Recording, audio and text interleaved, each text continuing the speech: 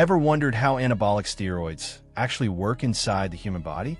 Even though it sounds like a complex topic, understanding the mechanism can help you see why these substances have such a big impact, both good and bad. Anabolic steroids are synthetic versions of testosterone, the main male sex hormone, and their action starts way before any muscle gains show up. It all begins when this molecule enters a cell. From there, a chain of reactions kicks in, directly affecting metabolism. Once inside, testosterone has two main pathways. One is conversion into DHT, dihydrotestosterone, through an enzyme called 5-alpha reductase. DHT is an even more powerful form of testosterone that binds more strongly to the androgen receptor. The other pathway is when testosterone itself binds directly to that same receptor. Both routes flip a kind of biological switch that controls a bunch of effects in the body, from muscle growth to behavioral changes.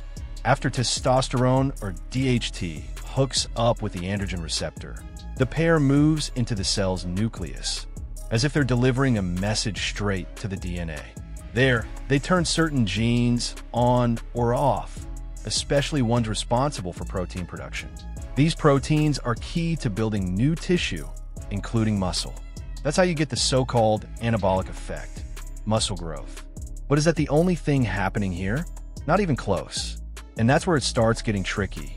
Besides the anabolic effect, steroids also bring androgenic effects, the ones tied to male traits. Think deeper voice, body hair growth, even a boost in sex drive. These show up more clearly in men, but can affect women too. And let's not forget about the estrogenic effect. Yep, some testosterone can be converted into estrogen, the main female hormone, through an enzyme called aromatase. That's what can lead to unwanted side effects like gynecomastia, aka man boobs. Because of this mix of effects, there are tons of different anabolic steroids out there. Some are designed to boost the anabolic effect while dialing down the androgenic side. Others are more androgenic and used for different goals, including medical ones. Some compounds are even built to avoid being turned into DHT or estrogen, which can cut down on side effects. But can you really control all these effects? Spoiler, it's not that simple. That's why using these hormones requires a lot more care than most people think. Did you already know steroids were this complex? It's easy to believe they just make your muscles grow, but now you know the process involves enzymes, receptors, and gene activation. Pretty wild, right? So tell me, do you think influencers actually break this down when they talk about using gear? Or are people out there injecting stuff without even knowing what's going on inside their bodies? Drop your thoughts in the comments.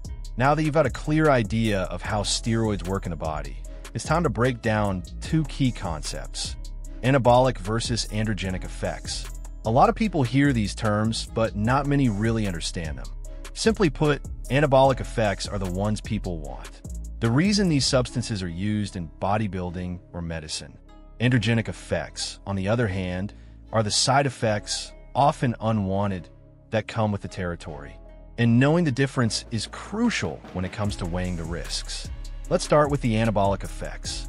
These are the ones responsible for muscle growth, increased strength, and faster recovery after workouts. On top of that, they can boost bone density, which is a big win for people dealing with osteoporosis. That's actually why anabolic steroids are prescribed in some medical treatments. But let's be real, these are also the exact effect that catch the eye of athletes and gym goers. I mean, who wouldn't want more muscular, powerful body with quicker recovery?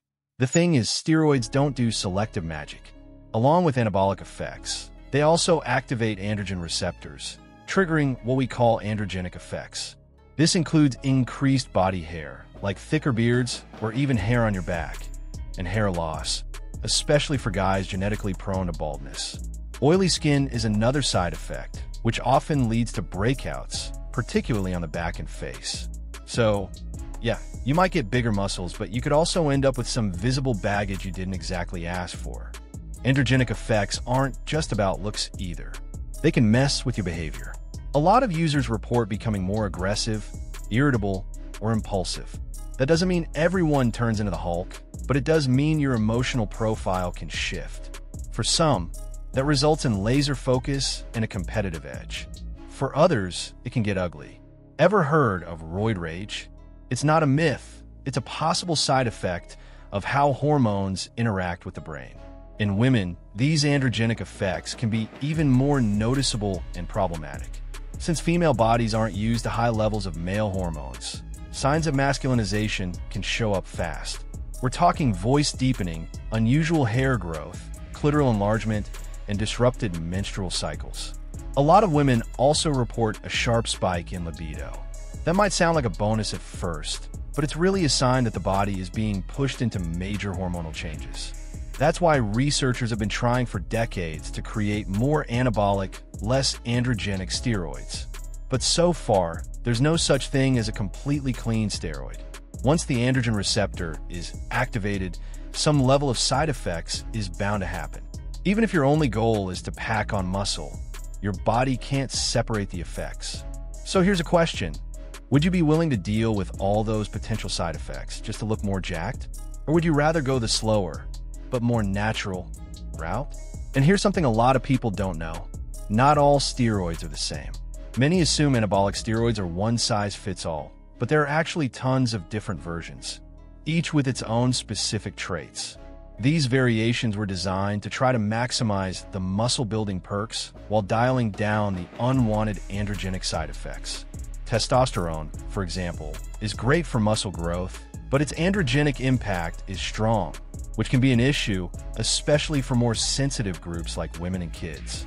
That's why scientists began developing other molecules based on testosterone, but with some chemical tweaks. The goal was to create more selective compounds that could trigger muscle growth without all the masculine side effects. A classic example is oxandrolone, better known as Anavar. It's derived from DHT, but acts much more mildly on the androgenic side. That's why it's often used in medical settings it poses fewer risks for vulnerable patients. In fact, oxandrolone has been used in children who suffered severe burns, helping them recover and rebuild muscle tissue. It's also prescribed for girls with Turner syndrome, a genetic condition that can slow down physical development. In these cases, the goal is to speed up growth and improve body composition without causing too much masculinization. Crazy to think that a steroid used by athletes to get shredded also plays a crucial role in helping fragile patients heal and grow, right? These same differences are also used strategically by athletes and bodybuilders. Each type of steroid has its own action profile, half-life, and side effect intensity.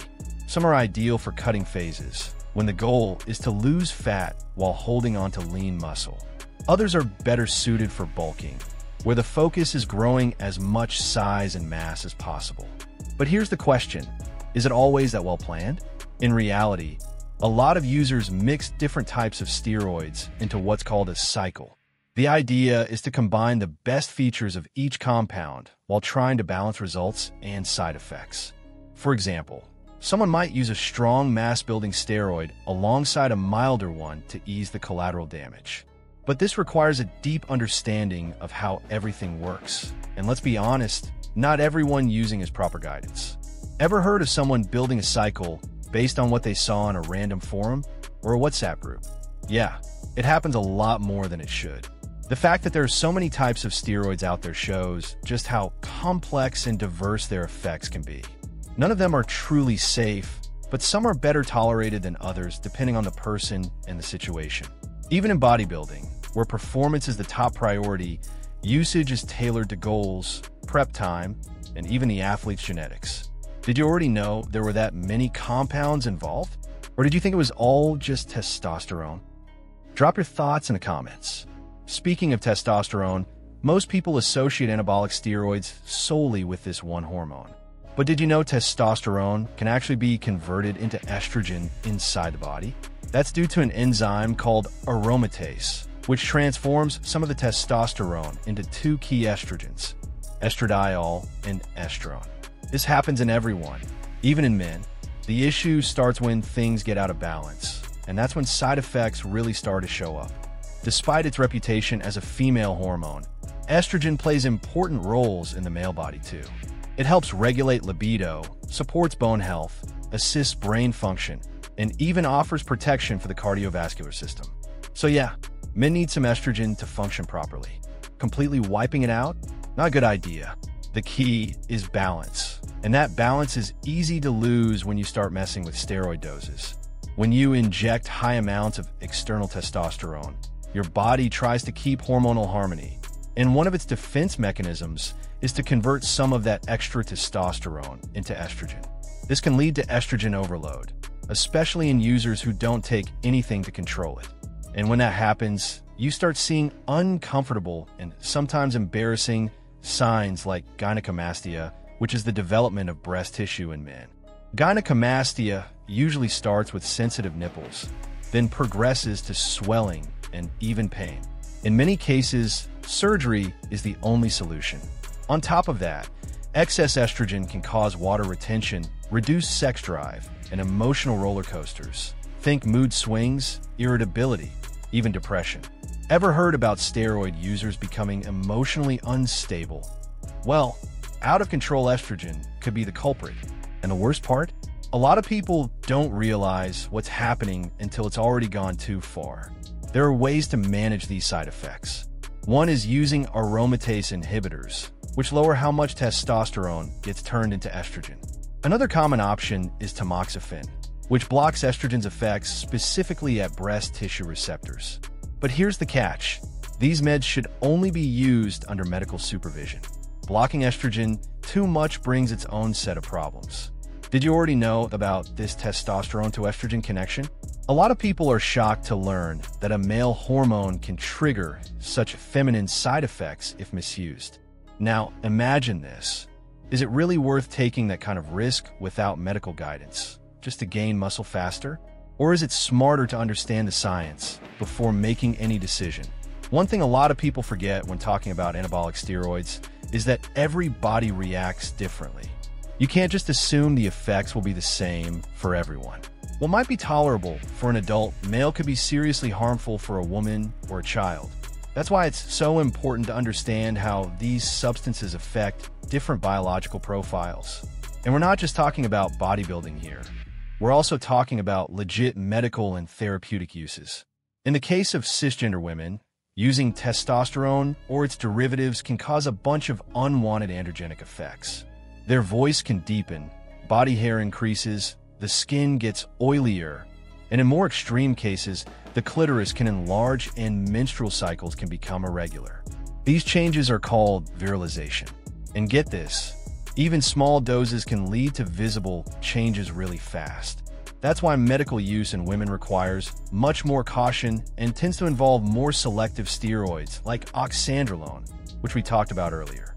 On the flip side, there are situations where these androgenic effects are actually the goal, like in the case of transmasculine individuals. For trans men starting testosterone therapy, these effects are exactly what they're hoping for. More facial and body hair, a deeper voice, changes in fat distribution, and so on. In these cases, testosterone is used under medical supervision to safely masculinize the body. It's the same hormone, but used for totally different purposes. Now, when it comes to children, the level of caution has to go up even more. In some medical scenarios, like growth delays, severe burn recovery, or certain genetic disorders, steroids might be prescribed. But here's the thing pure testosterone is never used in kids. The preferred choice is a compound with high anabolic and low androgenic effects, like oxandrolone. The goal is to promote healing and growth without triggering early sexual development or causing unwanted masculinization. That's why choosing the right steroid has to be based on the person's specific goals and biological makeup. There's no magic formula that works for everyone. What's safe for an adult man could be a disaster for a teenage girl. And even in the fitness world, people often ignore these differences and just copy some standard cycle they found online, which is a seriously risky move. Ever heard of someone running into trouble because they followed someone else's plan without checking if it made sense for their body? All these variations make it clear that steroid use is way more delicate than it looks. It's about hormones, development, gender identity, and, most importantly, health.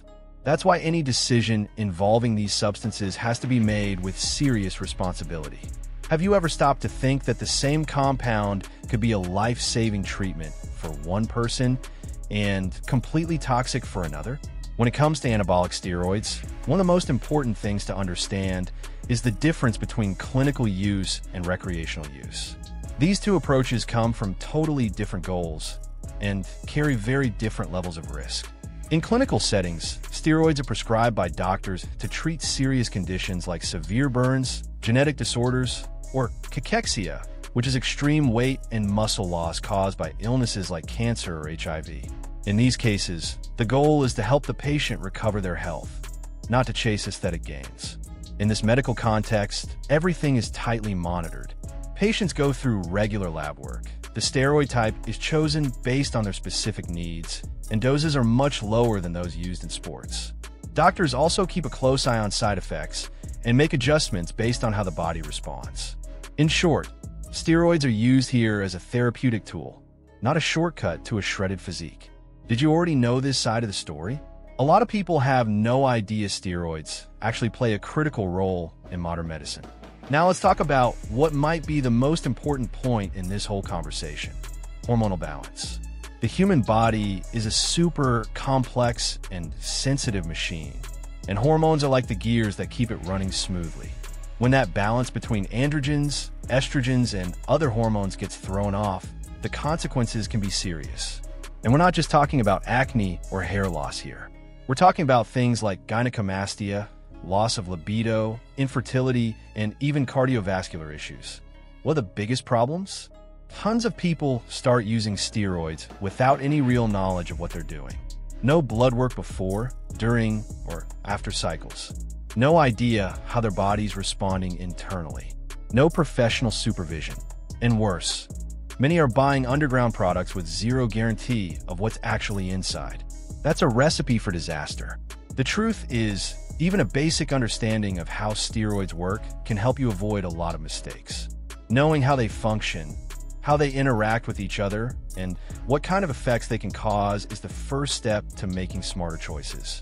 Whether your goal is medical, athletic, or purely aesthetic, lack of information is the biggest threat to your health. And unfortunately, the internet is flooded with shady tips, cookie cutter cycles, and miracle promises that completely ignore the fact that every body is different. So here's something to think about. What's really more expensive? Investing in lab tests, medical guidance, and solid info, or dealing with long term side effects that could mess with your health forever? A lot of people think they're saving money by going DIY, but end up paying a much higher price down the line. Have you thought about that? Are your decisions grounded in science, or just based on guesswork? If you made it this far, props to you. It shows that you actually care about your health and are looking for real knowledge before doing anything impulsive. Now I want to hear from you. What surprised you the most in this video? Was there a piece of info that made you rethink steroid use or see the topic in a different light? Drop your thoughts in the comments. We'll keep this conversation going in the next videos too.